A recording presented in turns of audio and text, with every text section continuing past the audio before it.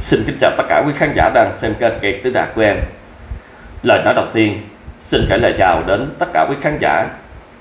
Kính chúc quý khán giả và gia đình được dồi dào sức khỏe, Gia đình hạnh phúc và xem kênh vui vẻ. Hôm nay muốn gửi đến cho quý khán giả một cái thông tin rất quan trọng. Và tôi tin chắc rằng cái bà Gò Vấp đó, Chắc chắn là bà sẽ xem được cái đoạn video này. Và khi xem xong đó, Chắc chắn là bà sẽ mắc ăn, mắc ngủ và bà sẽ nhận thức như thế nào về cái hành vi, cái thiệt hại bà bả đã gây ra cho gia đình của bà Nguyễn Phương Hằng, công ty cổ phần Đại Nam, quỹ từ thiện hàng Hổ. Và tôi không biết ông Lực Gia và hai cái võ sư đó có tìm được cái phương hướng nào để cứu bà này hay không. Thì đó vẫn còn là một cái dấu hỏi. Kính thưa tất cả quý khán giả, gần đây báo chí đưa thông tin bà Nguyễn Phương Hằng và ông Nguyễn Vĩ Dũng yêu cầu Hàng Ni và ông Trần Văn Sĩ phải bồi thường thiệt hại về vật chất cho công ty cổ phần Đại Nam. Cái số tiền từ 3 cho đến 500 tỷ đồng để xung vào công quỹ nhà nước. Thì đây là một cái con số rất là khủng khiếp. Kể cả các chuyên gia và tư vấn pháp luật nghiên cứu về luật pháp đó, thì cũng còn đắn đo và cũng còn rất là e ngại khi phân tích và chia sẻ về cái câu chuyện này. Vì đây là cái lần đầu tiên trong lịch sử tố tụng hình sự mà một vụ án hình sự mà phải yêu cầu bồi thường thiệt hại lên cái con số rất lớn như vậy. Một số người hiểu biết và theo dõi sắc trong câu chuyện drama này đó, thì họ cho rằng ông Dũng và bà Hằng yêu cầu bồi thường lên đến hàng trăm tỷ đồng là một cái con số hoàn toàn chính xác. Vì bản thân bà Hằng tố cáo trên cái danh nghĩa là tổng giám đốc công ty doanh nghiệp.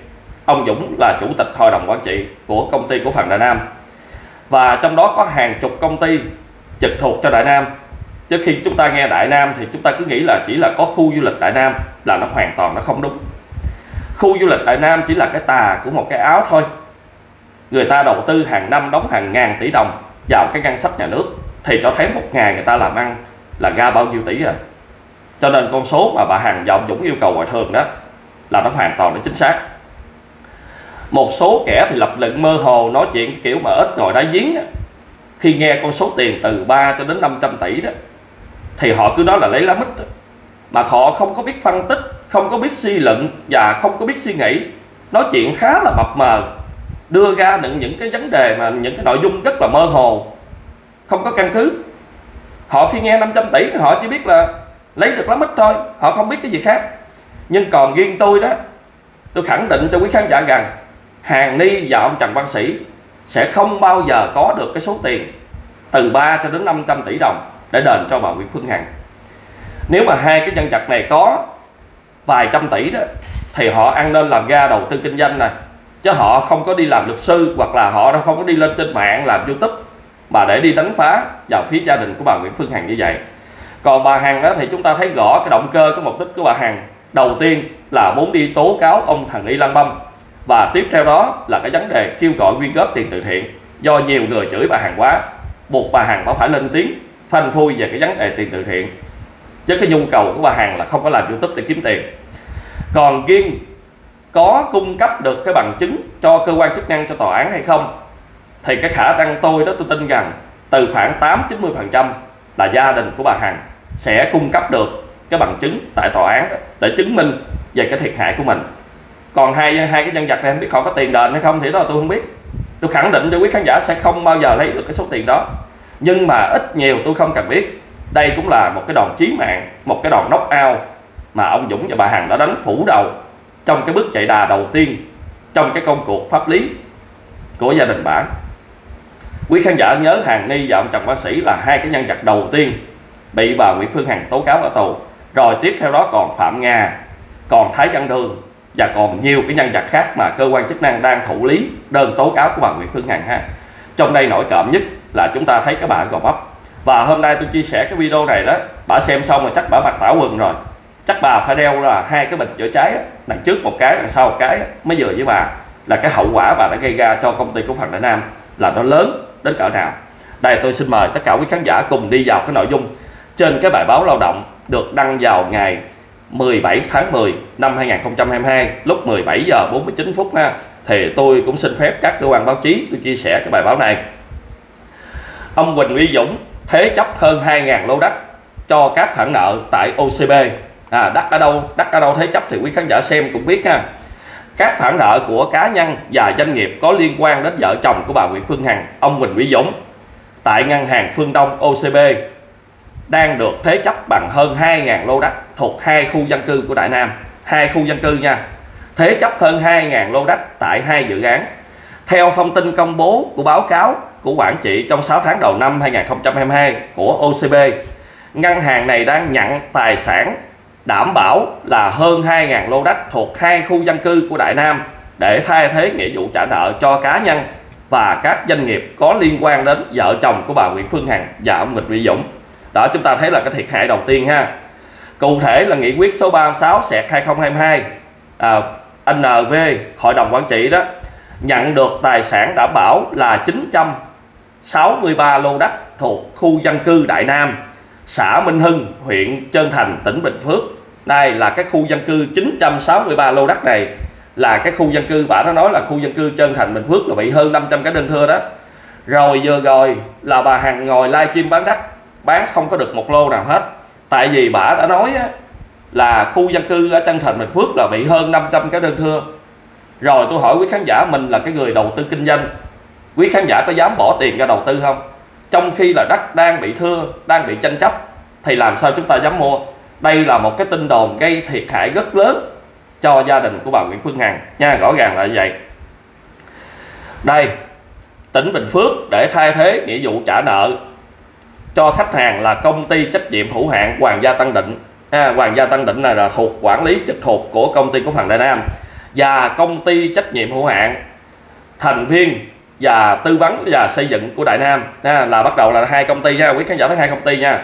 Bà Nguyễn Phương Hằng tại OCB Bình Dương nêu là tại tờ số 281 sạc 2022 TT TGD ngày 29 tháng 4 năm 2022 của Tổng Giám đốc. Đây bắt đầu tiếp tục nha. Nghị quyết số 37 sạc 2022 của OCB nhận tài sản đảm bảo là 1.104 lô đất thuộc khu dân cư Đại Nam phường Phú Tăng, thành phố Thủ Dầu Một, tỉnh Bình Dương. Đây là cái khu dân cư Thủ Dầu Một, tỉnh Bình Dương. Bà này cũng có nói là đất ở đây đang tranh chấp bà hàng thế chấp đồ này kia cái nọ tùm lum la đó, gây ảnh hưởng, gây thiệt hại rất lớn cho gia đình của Đại Nam trong cái trong cái bài này nha. Rồi tôi tiếp tục cho quý khán giả xem. Công ty trách nhiệm hữu hạn Hoàng gia Tân Định, công ty cổ phần Glen Đại Nam, công ty cổ phần Glen Hằng Hữu công ty trách nhiệm hữu hạn TV là tư vấn và xây dựng Đại Nam. Bà Nguyễn Phương Hằng tại OCB Bình Dương nêu tại tờ số là 282/2022 ngày 29 tháng 4 năm 2022 của Tổng Giám đốc. Trước đó, tại Đại hội Cổ đông thường niên năm 2024 là ngày 23 tháng 4 đó, là sau bà Nguyễn Phương Hằng bị khởi tố và bắt tạm giam đó, thì các cổ đông người ta chắc chắn là tổng ờ, giám đốc của ờ, ngân hàng quý khán giả tổng giám đốc của ngân hàng đó là người ta trả lời với các cổ đông đây. Về các khoản nợ vay của công ty Đại Nam tổng giám đốc OCB Nguyễn Đình Tùng thông tin tổng dư nợ nhà băng này cho Đại Nam là hơn một là trên 1.000 tỷ đồng. Có nghĩa là ngân hàng OCB này cho Đại Nam vay là hơn 1.000 tỷ đồng. À, riêng liên quan đến khoản nợ của công ty Đại Nam ông Nguyễn Đình Tùng tổng giám đốc cho biết ngân hàng cho công ty Đại Nam vay dự án làm găng tay xuất khẩu sang Mỹ. Ngày 22 tháng 4 Đại Nam đã trả khoản nợ là 450 tỷ đồng. Đó, Đại Nam đã trả 450 tỷ đồng. Khoản nợ này là có sổ đỏ tính pháp lý đầy đủ nên có cơ sở để thu hồi nợ. Vấn đề của tập đoàn Đại Nam không phải là gũi go cho OCB có nghĩa là người ta vay đó là ngân hàng không sợ gũi go. Tất cả đều có cái tài sản đảm bảo cho OCB hết vậy mà, mà tôi nói với khán giả rồi ngân hàng có lúa người ta mới cho mượn gạo. Mình đi dây FE nè 5 triệu bạc thôi chụp hình chi cập Zalo rồi được gọi người thân rồi này kia cái nọ đủ thứ chứ. 5 triệu chưa chắc gì mình dây được FE đó. Mà người ta đi vay hàng ngàn tỷ đồng để đầu tư kinh doanh. Tôi nói với khán giả không có doanh nghiệp không tạo công an việc làm không phát triển quê hương đất nước của mình không mở rộng mô hình đầu tư kinh doanh.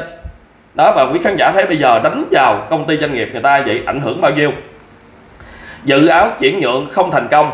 Dự án chuyển nhượng không thành công nha. Tất cả các công ty đều có người đại diện pháp lý là ông Quỳnh Huy Dũng. À, sau là bà này bà nói là Đại Nam đã sang tên đổi chủ mà. Sau đó đại diện pháp lý là ông Quỳnh Huy Dũng.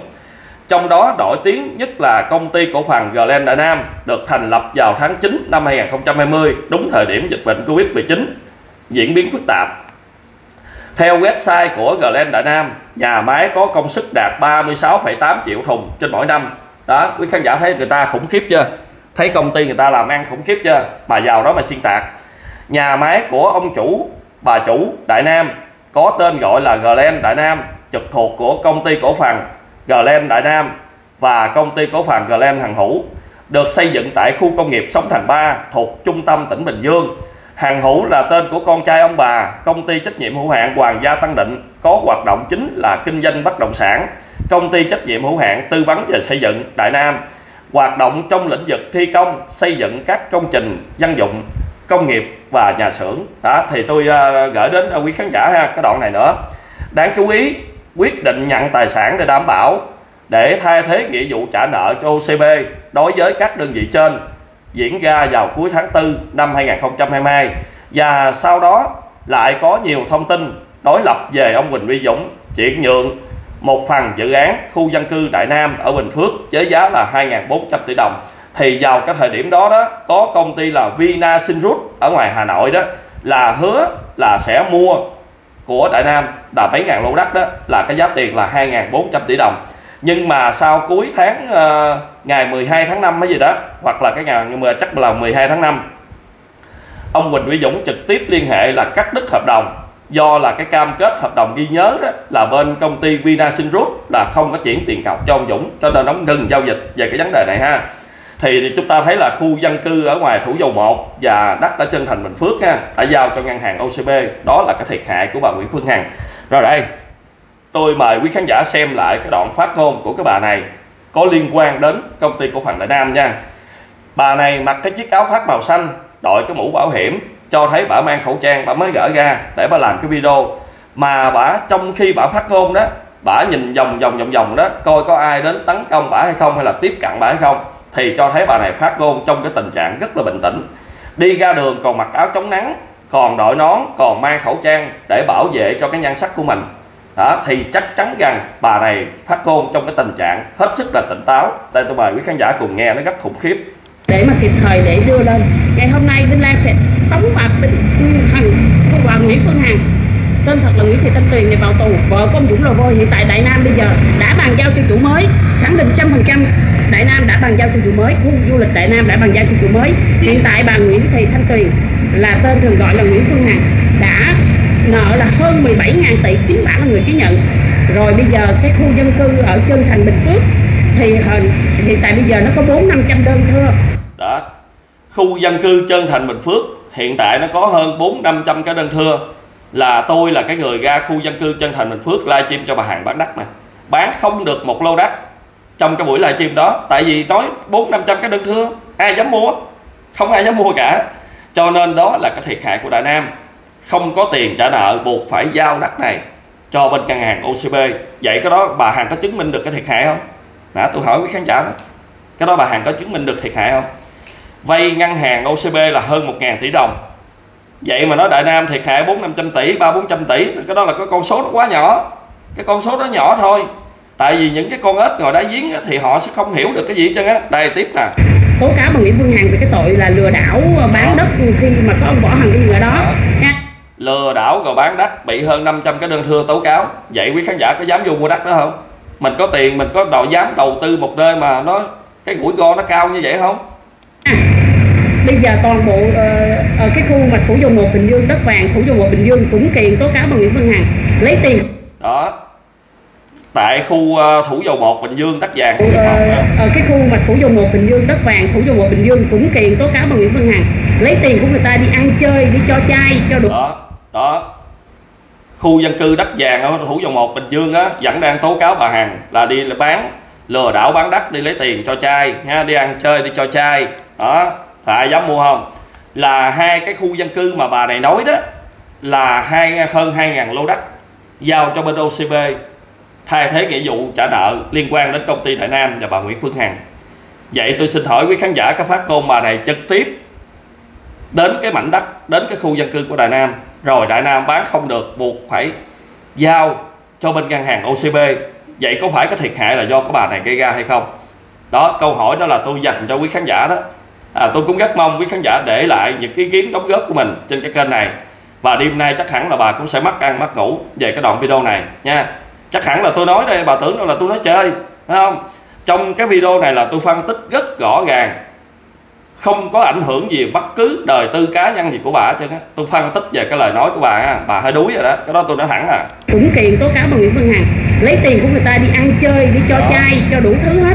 Bây giờ là uh, bây giờ bà Nguyễn Phương Hằng không không bị tội tù chung thân Đinh Lan đi đầu xuống đất. Nói tuyên bố thẳng luôn. Bà Nguyễn Phương Hằng không bị nhốt vô tù Đinh Lan đi đầu xuống đất đừng có tưởng đâu mà con. Đó, không đi tù chung thân là đi đầu xuống đất. Vậy bây giờ bà Hằng đi kêu án có 3 năm mà mai mốt bà đi đến tòa phúc thẩm, bà đi đầu xuống đất đi. Cho dư luận và cộng đồng, người ta dễ coi chút xíu. Và tôi nói lại nha, hai khu dân cư thủ dầu bột và chân thành bình phước, hai cái khu dân cư này giao hơn 2.000 lô đất cho OCB thay thế nghĩa vụ cho Đại Nam trả nợ cho Đại Nam đó. Cái thiệt hại này là do bà gây ra. Tại vì chính cái phát ngôn của bà nha, người ta áp đặt cho bà, buộc bà phải bồi thường thiệt hại này đó là hoàn toàn nó có căn cứ đến bà là cái con số là, thậm chí là ba con số không phía sau á, nha. Hàng ni với ông sĩ có hai con số không phía sau, tới bà là phải ba con số không đó. Cái đó là tôi nói trước cho bà chuẩn bị tinh thần đó. Cuối video xin chào và hẹn gặp lại. Kính chúc quý khán giả và gia đình có được nhiều sức khỏe. Bye bye.